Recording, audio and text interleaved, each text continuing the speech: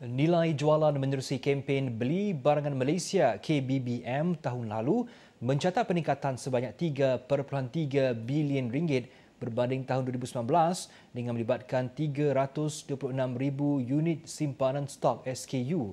Ketua Setiausaha Kementerian Perdagangan Dalam Negeri dan Hal Ehwal Pengguna KPDNHEP, Datuk Seri Hasnul Zamzam Ahmad berkata, Peningkatan itu berikutan ramai rakyat berbelanja menerusi portal dalam talian Marketplace susulan pelaksanaan Perintah Kawalan Pergerakan PKP.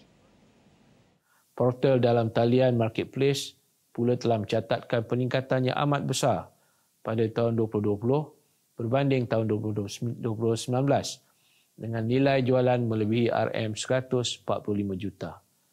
Peningkatan yang ketara ini disebabkan pelaksanaan Perintah Kawalan Pergerakan yang mana menyaksikan ramai rakyat Malaysia berbelanja secara atas talian.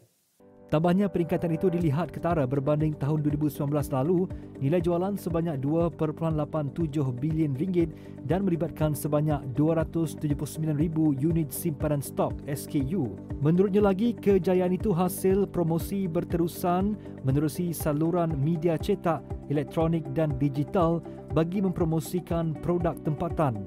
Beliau berkata demikian sempena Majlis Pra Pelancaran KBBM secara maya. Dalam pada itu, beliau berharap supaya kerjasama bersama rakan strategik dalam pelaksanaan KBBM dapat diteruskan bagi memulihkan semula sektor peruncitan dalam memastikan ekonomi negara kekal berdaya saing pasca COVID-19.